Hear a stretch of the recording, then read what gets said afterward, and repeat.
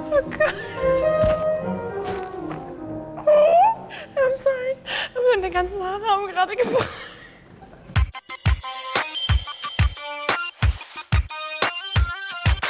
Call me naughty, call me nice.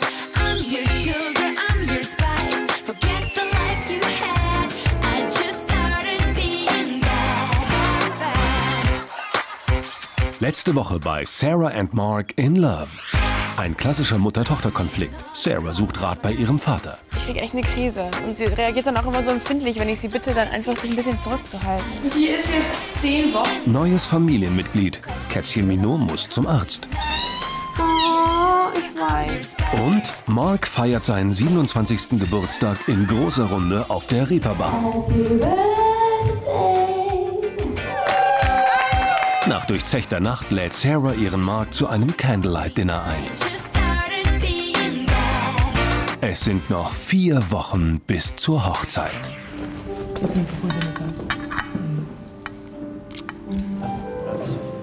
Das erste Mal seit über einer Woche verbringen Sarah und Mark einen Abend zu zweit. Danke sehr. Guten Appetit, Anni. Guten Appetit, Honey. Mm. Honey. Ich glaube, ich muss mal einen Kochkurs machen. Ja, du. Ja, ne? Wir machen einen Kochkurs, ja? Aber wenn ich einen Kochkurs mache, Honey, dann musst du einen Benimmkurs. Was? Warum? Because of this. You're not supposed to do this. Du schmatzt. Ich mag das. Ja, du magst das, aber du möchtest. Honey, nimm deinen Ellenbogen vom Tisch. Der Food, die ist besser. Wenn mein Elbow ist auf dem Tisch. Mein Essen schmeckt besser, wenn dein Ellenbogen nicht auf dem Tisch ist, wenn du ein bisschen schöner da sitzt. Honey.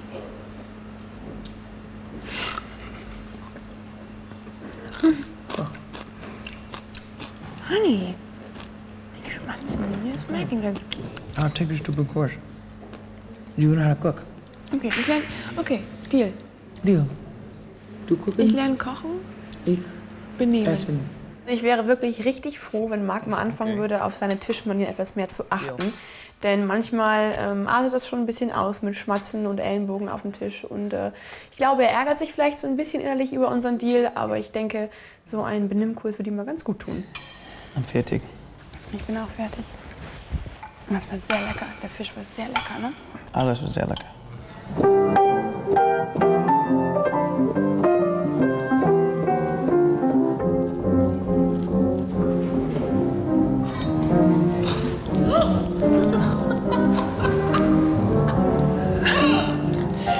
Anni, komm her. Oh Gott. I'm sorry. Meine ganzen Haare haben gerade gebrannt. Deine ganzen Haare. Honey, dein ganzer Kopf war in Flammen. Mein burnt hair. Und als du dich zurückgelehnt hast, when you leaned back, your whole hair was on fire. Und du so. Hat sie das gerade gesehen? Seine ganzen Haare haben gebrannt. Als ob es dir jeden Tag passiert. Sind alle weggebrannt.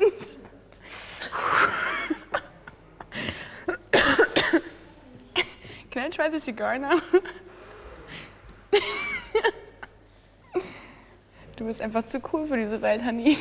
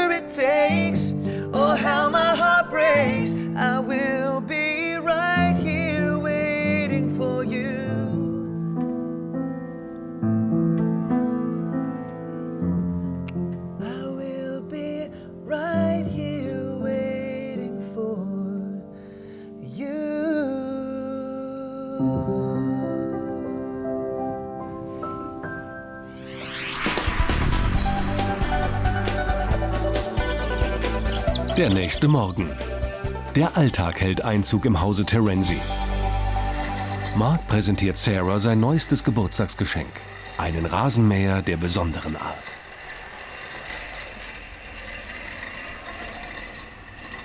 It's a lawnmower.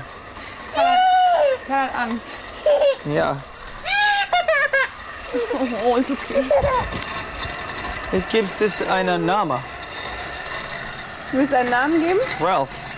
Ralf? Guck mal, du Dude. Das ist cool, huh?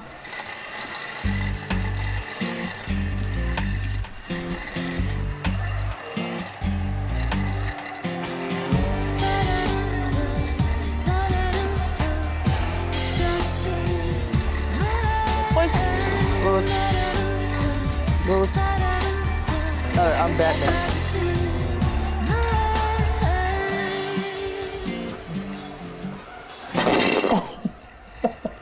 Das denn? Der Ball?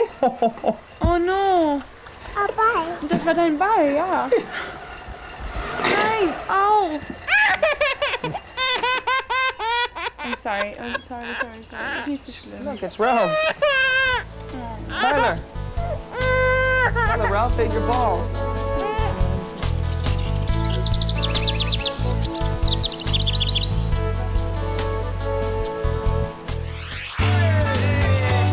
Am Nachmittag. Sarahs Schwester Marisa hat ihr Abitur bestanden und lädt, kurz bevor sie eine Weltreise antritt, zu einer kleinen Feier. Ein stolzer Moment für Sarah, aber auch ein aufregender. Seit ihrem Streit ist es das erste Mal, dass sie Soraya wieder sieht. Also mal eben Ruhe, Leute. Hallo, Attention. Ein paar Worte zu deinem Hey, Abitur. Marisa, ich bin stolz auf dich. Du bist Vorbild jetzt. Du bist die Erste in der Familie, die Abitur macht. Du bist die mittlere Tochter. Trotz zwei recht dominanter Schwestern machst du dein Abi. Wir haben alle ein bisschen geholfen, wie du weißt. Ich bin sehr froh, dass das Abitur jetzt endlich vorbei ist. Ähm, Das ist eine große Last gewesen und ähm, es ist wirklich schön, das jetzt zu fühlen, dass ich es wirklich geschafft habe irgendwie und auch frei bin.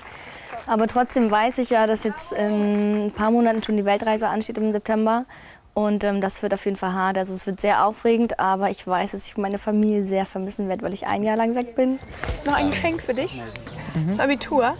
Und auch für deine Reise. Und so ein bisschen Sorge, dass du irgendwie I figured that you could use a auf piece of paper. jeder Zeit dir ein Ticket zurückkaufen kannst, wenn du doch nach Hause kommen möchtest.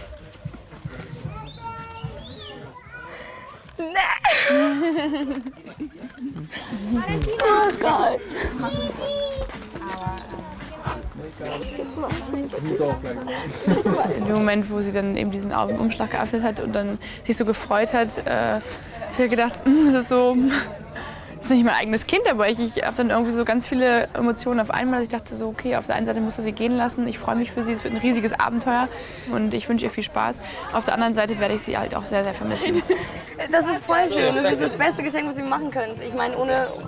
Ich hätte nicht buchen können, gar nichts. Ich hätte, hätte nicht, wie ich es machen Ich hätte nicht gewusst, wie ich es machen soll. Naja, it's gonna go good. Yeah, It's gonna be good. Du wirst awesome. viele Geschichten haben, die du uns erzählen kannst, wahrscheinlich hinterher. this is ja. the best thing Ich werde ever. auf Bali sein, auf Hawaii. Adventure. Okay, Leute. Party, Gläser, Sekt. Okay, lass uns was trinken.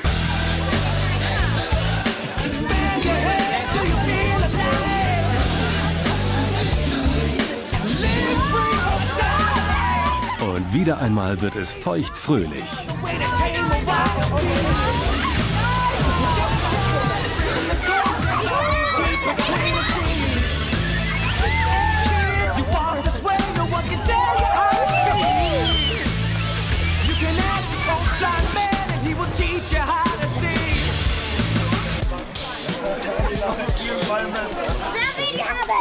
Hoffentlich gut Mittag gegessen, weil wir jetzt Wedding Planner Frank hat zur Weinverkostung geladen. Die To-Do-Liste für die Hochzeit wird immer länger. Der Zeitplan immer knapper. So, wir fangen einfach mal an. Wie gesagt, es sind Champagner zum Anfang, ein bisschen was zum Eintrinken. Was ganz wichtig ist, dass wir vielleicht professionell probieren. Ne? Es fängt an damit, dass man ein Glas hier unten festhält. Es gibt eine schöne Geschichte. Ähm, man geht auf Toilette. Es gibt genau zwei Möglichkeiten. Möglichkeit Nummer eins, man wäscht sich die Hände. Möglichkeit Nummer zwei, man wäscht sich die Hände nicht. Bei, meinen möglich bei beiden Möglichkeiten riechen die Hände. Deswegen sollte man, wenn man Wein probiert, nicht die Hand riechen. Ja, jetzt ist die Hand ja weit weg vom Wein. Dann riechen Sie einfach mal rein, wie Sie das so finden. Einfach mal rein. Können einfach mal reinriechen, einfach mal ganz. Ach so, rein riecht, das ist jetzt rein weg.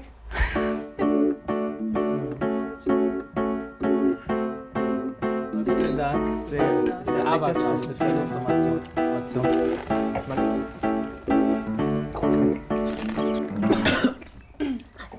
Das ist gut. Ja? Besser als Prosecco You vor like allen? Dingen. Finden Sie? Ja, unbedingt. Ich finde Prosecco ist immer so viel erfrischender und so. Aber Prosecco schon Ja, weg. es ist What a way to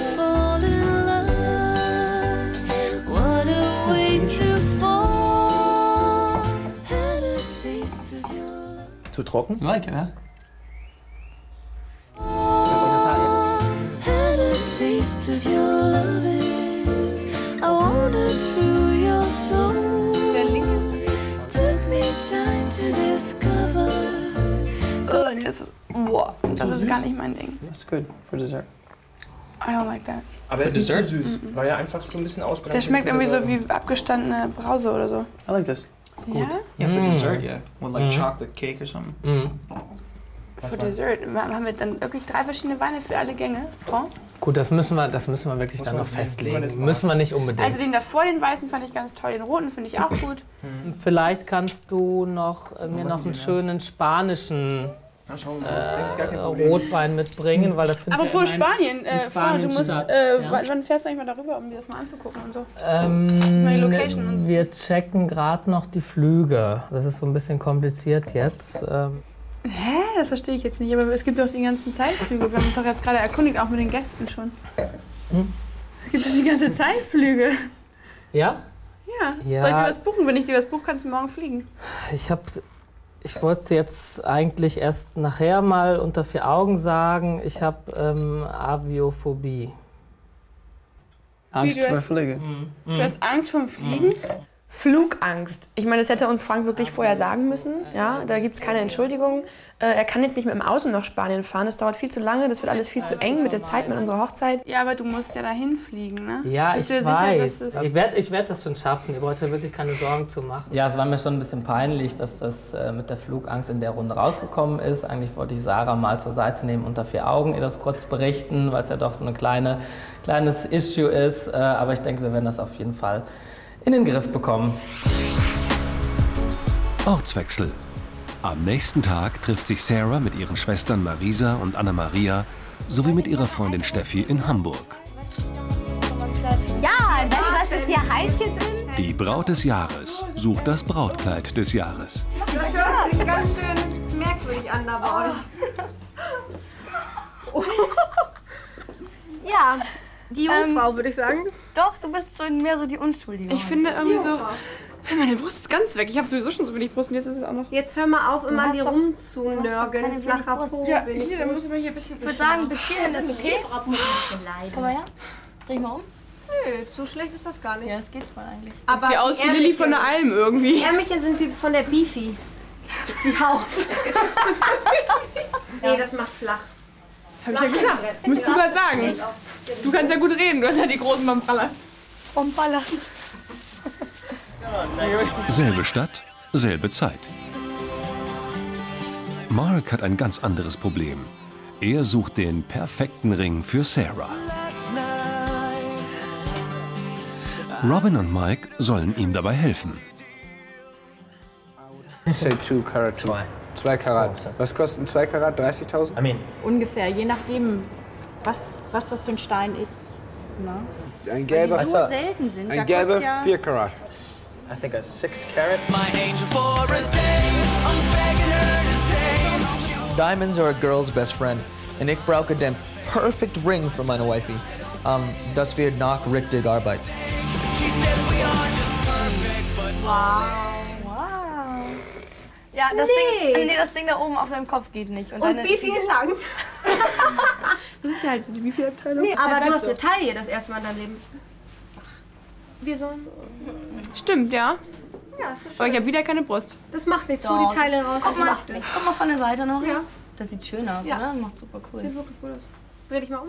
Ach, es ist schon spannend, wenn man äh, das erste Mal ein Brautkleid anhat. Äh, anhat. Ich habe das noch nie, ich habe das noch nie vorher gemacht und ähm, es ist schon aufregend, sich so zu sehen. Äh, man hat automatisch irgendwie eine schöne Figur, man hat eine tolle Taille und die Proportionen sind automatisch schön ähm, irgendwie eingeschnürt und weggeschnürt und hochgeschnürt. Es geht ja auch darum, so ein bisschen Ideen zu sammeln, ja, wenn wir es jetzt. Also Ja, aber es sieht wirklich toll aus.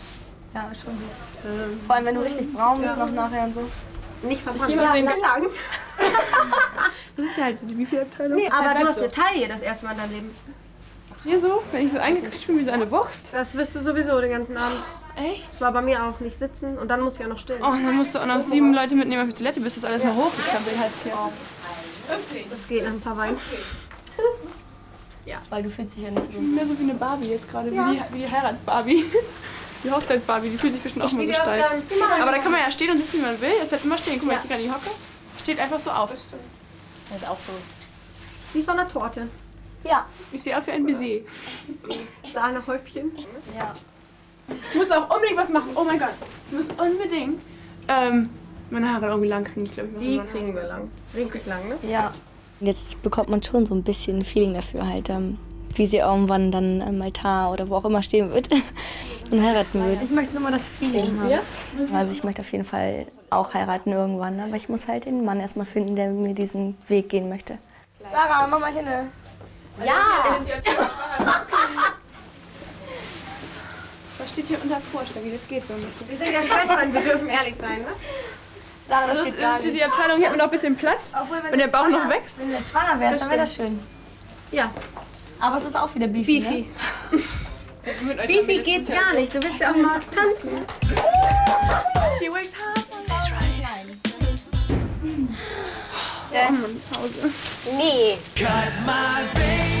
Mark, Mike und Robin haben zwar noch keinen Ring, dafür aber ein Tattoo-Studio entdeckt.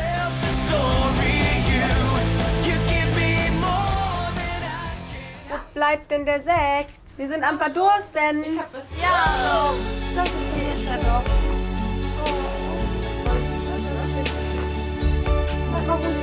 Mit Spiegel? Guck mal, da fangen schon die Gläser an zu zittern. Siehst du? Siehst du, Annemaria? Kein Hintern. Sarah, das ist einfach ein Das hast du eigentlich ein Problem mit deinem Du brauchst Hintern. ja nicht ein... Aua, Mann. Ist auch süß. Also ein Schleier macht natürlich dann ganz schön Sarah, aus. Guck mal. ja, weg. Ich finde, wir sollten das mitnehmen, falls das Kleid. Ich meine, das wird sicherlich nicht werden. Aber wenn wir das dann nehmen, dass wir noch ein Notfallkleid haben, falls ich hinfalle Nee, oder mir ist was total runterkippt oder so. Okay, cheers, Mädels. Auf Sarah. Ich muss die ganze Zeit auf Zehenspitzen stellen, sieht das Bist du grad besser aus. Chin Chin. Ja, ich werde schon so ein bisschen hibbelig. Und ich so hier in so einem Braunladen. Stößchen. Stößchen. Dornröschen. Oder, oder, oder auch Pferdstößchen, wenn man nicht rankommt. Wisst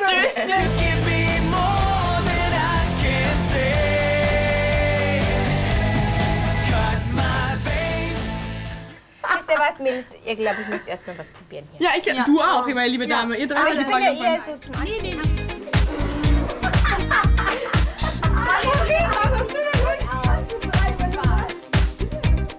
Das ist noch nicht die Final Solution hier.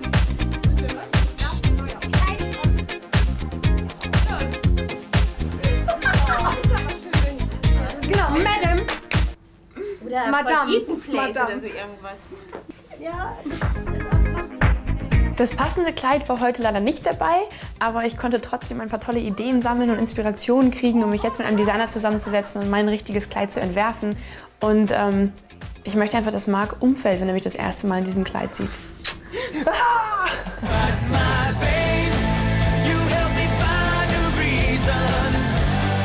Love conquers all.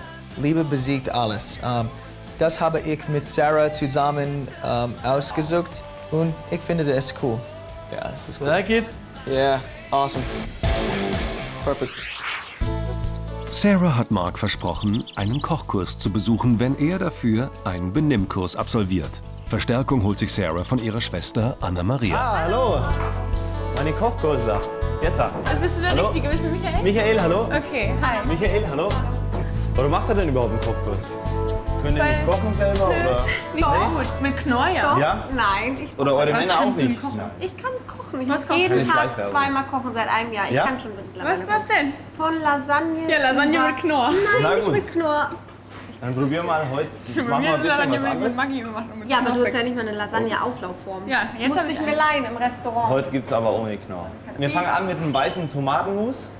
Da gibt es ein Erdbeer-Mozzarella-Spießchen dazu. Ich mag keinen Käse. Äh, Fleisch mal ja auch nicht, oder? Doch. Entenbrust Entenbrust. Du kannst ja mal probieren. Das für wird Vegetarier. Nee, nicht mehr. ja, genau. Gut. Deswegen. Ja. Nichts sagen. Überhaupt? Halt, du musst uns doch Moment, du machst das hier Salz? so schnell. Ach so, ja War gut. das Salz? Nein, das war Zucker. Achso. Zucker und Salz kommt hier rein. Ein bisschen Pfeffer. Was ist das? Zucker auf die Tomaten. Das, Du bist ganz schön schnell. Ja, echt, wir, können, wir kriegen ja gar nichts mit. ehrlich jetzt? Doch jetzt. Also gut, du mixt es und dann rede ich jetzt langsam. Aber Das löst sich auf. Ja, ne? Das machen wir dann. so, so. Wo habt ihr eure Männer heute gelassen? Mein Mann hat gerade, äh, macht gerade einen Benimmkurs. Ehrlich jetzt? Warum? Ja, weil er hat nämlich so schlechte Essmanieren. Ja, Echt jetzt? wie die meisten Amerikaner. Ja, und daher haben wir gesagt, ich mache einen Kochkurs und er macht einen Benimmkurs. Wir setzen dich also mit dem, mit dem Popo hinten bis an die, an die Lehne ran. Füße nebeneinander und die Beine in, in rechte Winkel. Ja? Okay. Rücken gerade. So, die Hände. So finde ich. ja, das ist So besser, ist es ne? äh, mit Sicherheit für 10 Minuten wesentlich cooler, aber nicht, nicht wirklich äh, angemessen. stimmt. Okay. Ja? Genau.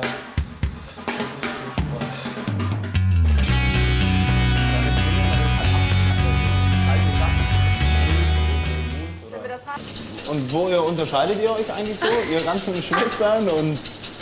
Oder seid ihr alle gleich? Also nee, wir sind überhaupt nicht alle ähnlich, gleich. Oder? Wir sind überhaupt Bisschen. nicht gleich. Wir sind Auf den Mund gefallen ist keiner. Ja, auf Mund gefallen, ja gut, okay. Von den Charaktereigenschaften, so äußerlich finde ich, sind wir uns jetzt überhaupt sind total unterschiedlich. Ja? Also wenn du jeden einzeln siehst, findest du nicht? Doch, total. Im Grunde sind wir gleich, aber im Detail ganz unterschiedlich. Ja. ich. Bin sehr sensibel und nah am Wasser gebaut. Das stimmt, Ja? Anna-Maria, das stimmt. Anna-Maria ist sehr... Ähm, Fängt schnell an zu heulen.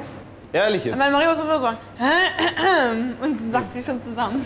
Sarah tut nach außen hin sehr stark, Ja, heult aber auch gern mal. gut. Ja. Also alles Heulsusel. Nee, Häusel. Ja. Und habt ihr Brüder auch oder seid ihr nur Mädels? Einen. Oh je. Wenn ich jetzt was im Mund habe, was so ein bisschen gatschig ist oder Ja. was auch immer, dann macht man ja gerne mal, äh, tut man das halt gerne, wirkt man das gerne mal in die Serviette. Also so kenne ich das. Und dann macht man ganz dezent und dann zum Nachbarn so, so rüber. Kann man so machen, Aber, sollte man aber nicht. Dann kommt äh, Sachen, die meisten von der Teller was leer ist, oder die Tasse. Und zwar Goldüberwette. Aua! Red noch was?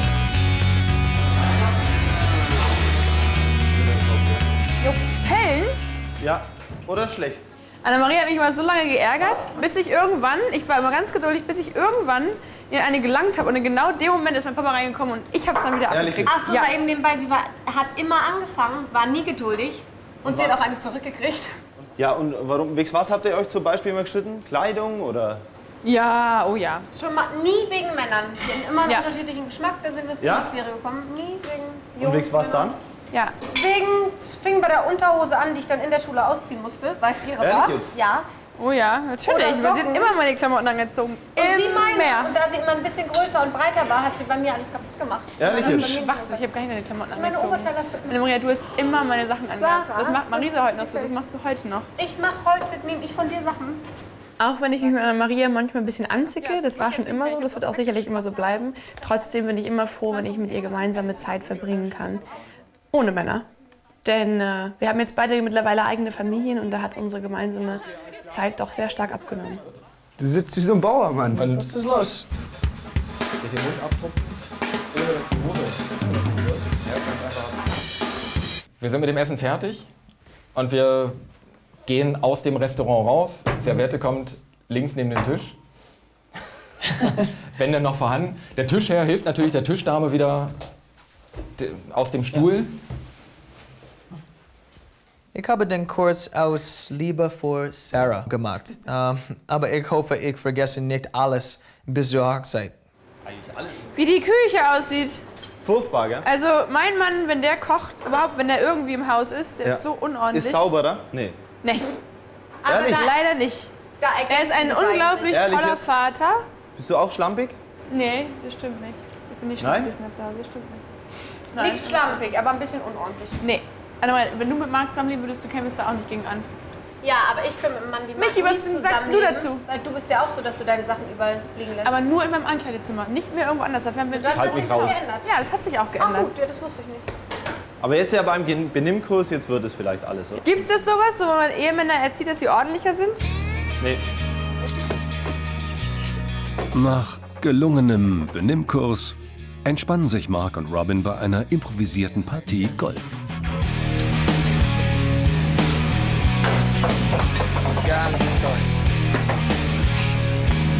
Get it up and over the thing. Yeah, Get it up and over the thing.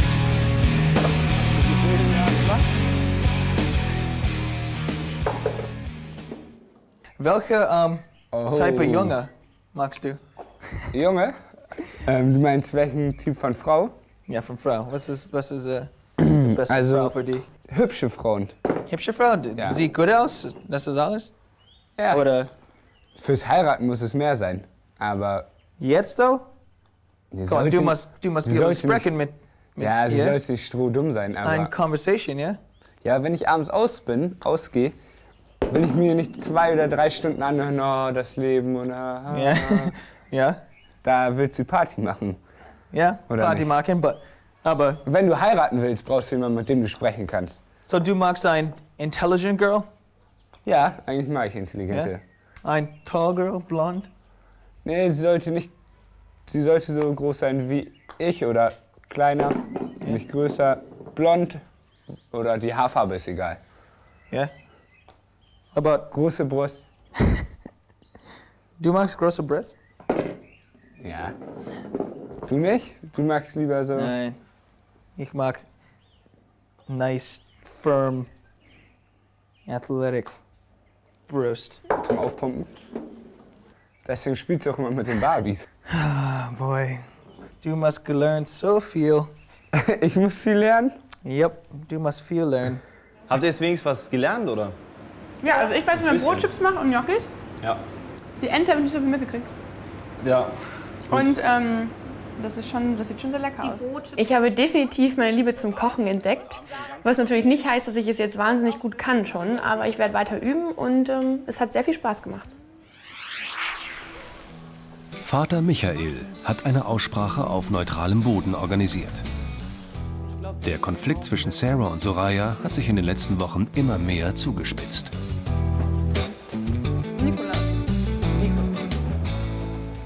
Ich glaube, es wäre schön, wenn wir hier einen Anfang machen würden.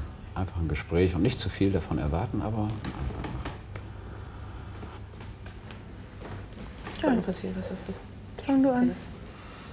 Ne, wieso? Die, ich habe ja ähm, die größeren Probleme habt ja ihr mit mir, nicht ich so mit euch. Ich finde schon besser, wenn du anfängst, was du. Ja, also ähm, ich meine, die Problematik ist ja irgendwie schon relativ bekannt. Ja, wir haben ja vorher schon drüber gesprochen.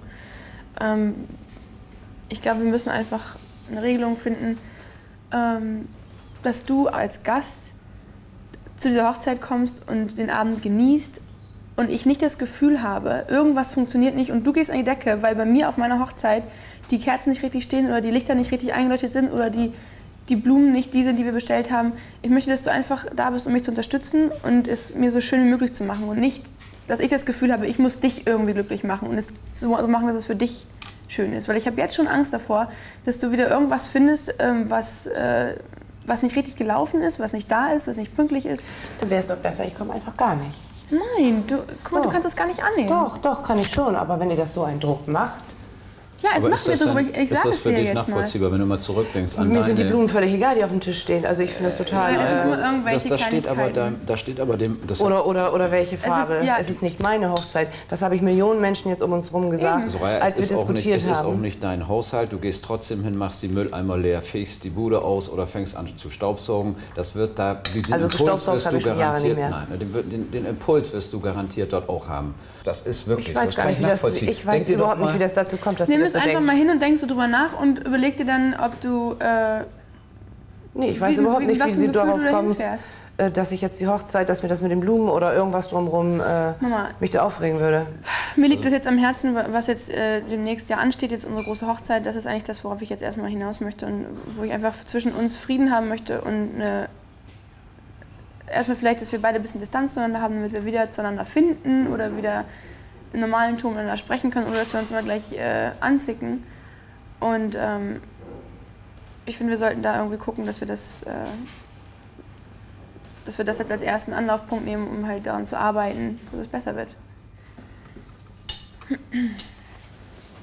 Und hast du jetzt auch das Gefühl, dass es uns ein Stückchen verändert hat oder ähm, Ähm, weitergebracht hat Ich oder weiß zum Nachdenken Ich gebracht weiß hat? definitiv, dass genauso wie euch der Konflikt, der sich verschärft hat, verändert hat, und zwar für uns alle spürbar und auch sichtbar für mich an euch, äh, genauso wird jedes Gespräch, jedes Gespräch eine kleine, kleine Veränderung im Kopf bringen.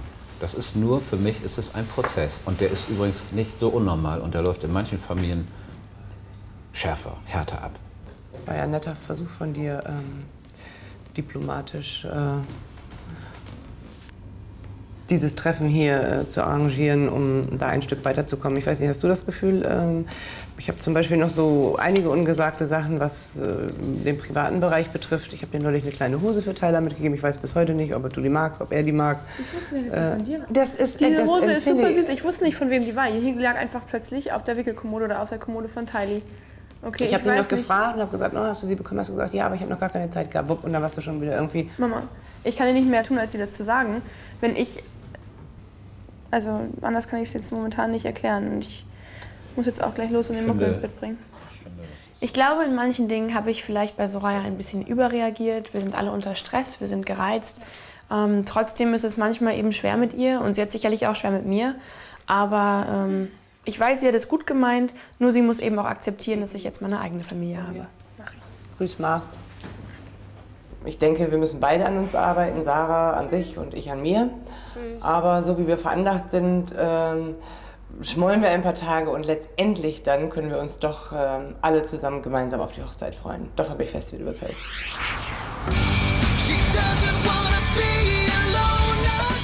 Um Sarah auf andere Gedanken zu bringen, fährt Mark mit ihr in seinem neuen Ami-Schlitten ins Autokino.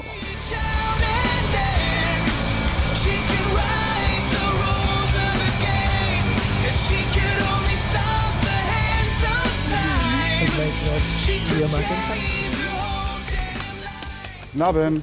Hallo. Wissen Sie, wie das bei uns mit dem Ton läuft? Ja? Nee. Ist das Radio denn genauso alt wie der Wagen? Da könnten Ja. Sie nämlich Probleme bekommen. Wir Ja? senden auf 106,6. Versuchen Sie das mal einzustellen. UKW. UKW, hier steht nichts dran. Frequenzmäßig müsste doch irgendwo draufstehen. 106, hier geht's nur bis 16. Hier steht irgendwie 18, Bis 16. Probieren Sie es 12. mal, dann könnten Sie Glück haben. Ganz bis zum Anschlag und da mal versuchen einzustellen. Wir senden auch schon. Wie, was senden Sie denn gerade? Wie muss Musik. Ach so. Also wenn ich so höre, sage ich es Ihnen.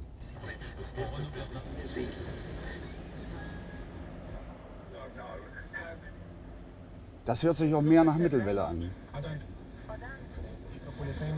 Das ist Mittelwelle, was Sie jetzt im Moment haben. Das ja, aber ist, was heißt Mittelwelle? Äh, müssen wir hier die Knöpfe drücken? ja, hundertprozentig. Also das ist garantiert kein UKW, was wir jetzt im Moment haben. What is that doing? That just is, is, is remembered channels. Okay, es mag's nix. Ich weiß es, was wir machen mit dir. Wie was wir machen. Ja, kein Kino. Was denn? Knutschen? Knutschen, alles. Ja? Die ganze Zeit jetzt? Ja. Dann knutsch mich auch. Baby, for all my life, don't you know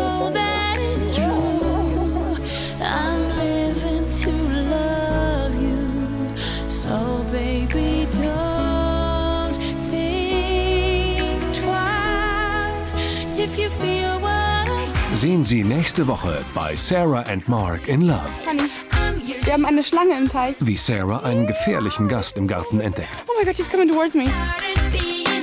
wie Katze Minot nicht mehr aufzufinden ist Mino! und wie Sarah alles in Frage stellt. Wie soll ich mich jetzt darum kümmern, Mama? Feel stressed, so close to the. Getting, yeah?